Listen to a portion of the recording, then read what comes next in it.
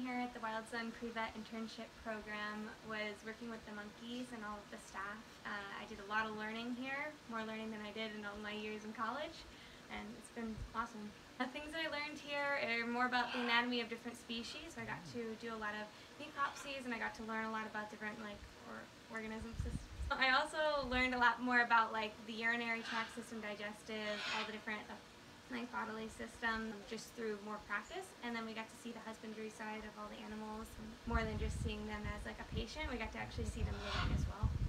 I think my like oh my moment here like the I can't believe I was doing it was when we had our first howler monkey come through as an emergency case. I had like a huge laceration on his side and I got to be right there with the two veterinarians and we got to decide on what treatments we were going to do going forward for him. And I'm sitting there holding oxygen for him and it was quite amazing just to see like two people from across the world kind of work together and have like a whole plan for this monkey.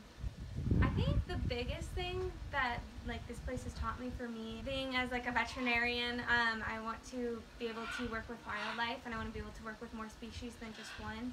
In the U.S., it seems like everyone gets so specialized onto one species, and I realized here that you can work with an arrangement of species. But yeah, I think the biggest thing was yeah, just like seeing Ricardo, the veterinary internship uh, veterinarian, um, and how he can work with this species and this species and this species, and he just has this whole range of knowledge that I really want to have one day, and I want to be able to work with all of those instead of just a dog or just a cat.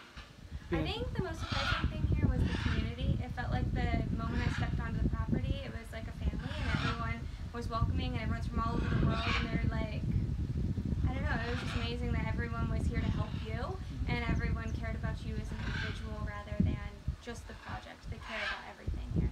For sure, I made friends here, and I like would want them to be like in my life forever. We already have plans to meet up in Germany and Ireland. like we're all meeting up one day. What would you say to people who are thinking of coming here? I would say they should go for it. They should come here for sure.